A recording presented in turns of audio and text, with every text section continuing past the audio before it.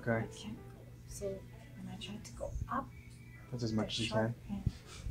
This It's how like- far I can go.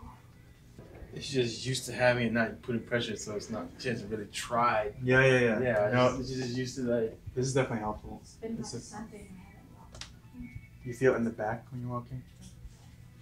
with my butt. Okay.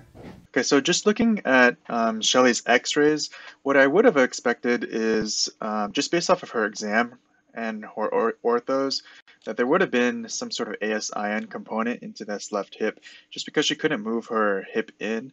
But I don't really see that on the x-rays. Of course, we always have to match the x-rays to the patient and make sure that they make sense.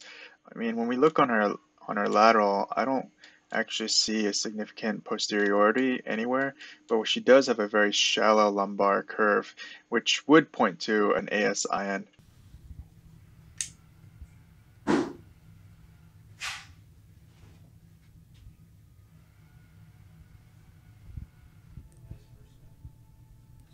And here too.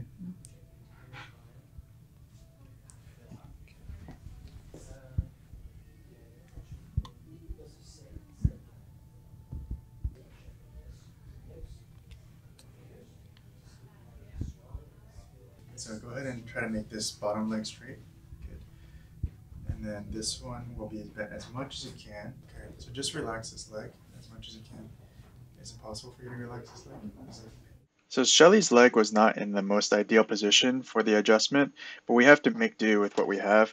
If you look at her leg, it's actually beyond 90 degrees, meaning uh, she couldn't bring her leg inwards or adduct her leg. That made it for uh, made for kind of a difficult adjustment, but that's what we had to work with.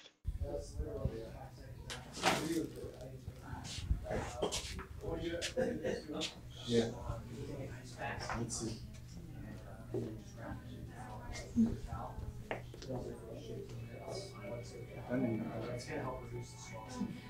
It's more looser. The sharp end's not there.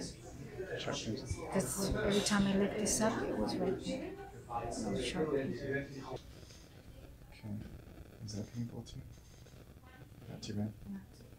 So we need just a little higher than I have.